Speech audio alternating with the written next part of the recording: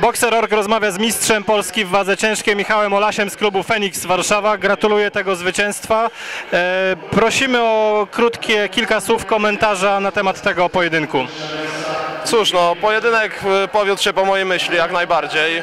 Przeciwnik był trudnym, ponad 100 walk, przy moim skromnym bilansie 20 walk.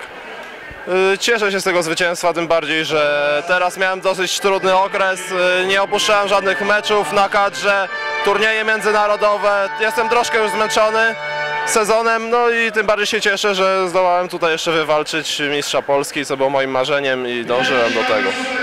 No właśnie, wspomniałeś o tym skromnym bilansie walk jak na razie, ale zarówno kibice, jak i specjaliści od boksu upatrują w tobie nadzieję wagi ciężkiej. Odnosiłeś już sukcesy na ringach międzynarodowych, miałeś tam udane, e, udane występy, teraz wielki sukces, złoty medal na Mistrzostwach Polski.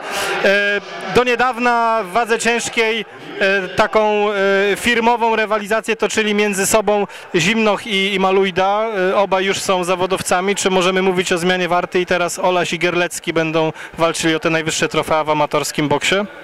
Jak najbardziej, całe życie, cały mój tryb życia podporządkowałem pod boks, konkretnie pod olimpiadę.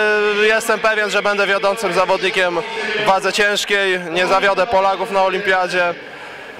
No i będziemy walczyć.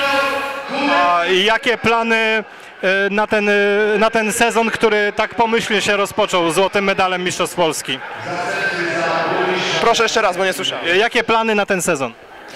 Na ten sezon turniej sztama niedługo jest. Y, Planuję też tam zdobyć pierwsze miejsce. Następnie Mistrzostwa Unii Europejskiej, no i Mistrzostwa Świata.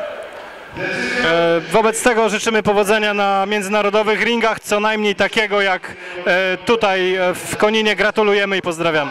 Dziękuję, pozdrawiam.